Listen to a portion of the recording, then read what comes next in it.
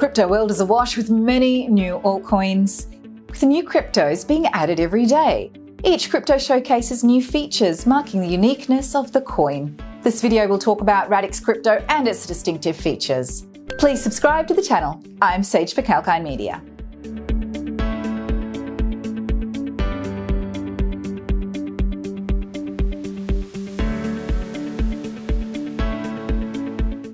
So what is Radix Crypto and how does it work? Radix operates as the world's first Layer 1 protocol that delivers a composable, secure by design, and scalable platform with a DeFi specific development environment, making it simple to build and deploy scale DeFi. Radix employs a new consensus method known as Cerberus to protect the network while enhancing its performance such as scalability, which may be desirable for specific applications.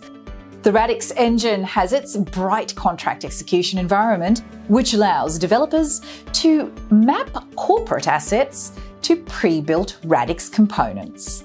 Radix allows effortless exit and entry to DeFi protocols and the Radix blockchain itself.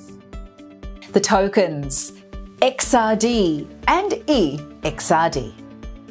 Radix's native currency is XRD, which holders may use to earn inflation rewards by participating in the network's proof of stake or POS consensus mechanism. The crypto also has an eRadix token, a wrapped version of XRD, on Ethereum, an ERC20 token. An eRadix or EXRD can eventually be swapped for primary net XRD tokens.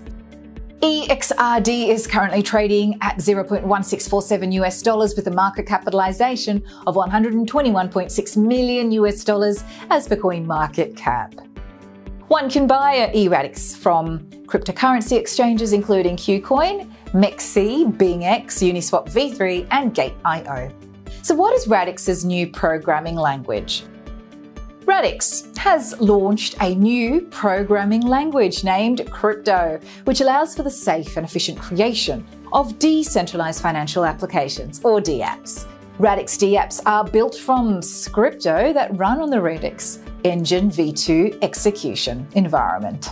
Bottom line, in the vast world of cryptocurrencies, Radix stands apart due to its unique characteristics. And although the crypto market is a high risk and high volatility environment, before investing in cryptos, investors should do their due diligence. Thanks for joining us in the report. If you do like this info, let us know by liking, sharing, commenting on the videos below. Subscribe to the channel, please, and press the bell icon you'll be notified of the latest videos by Kalkine.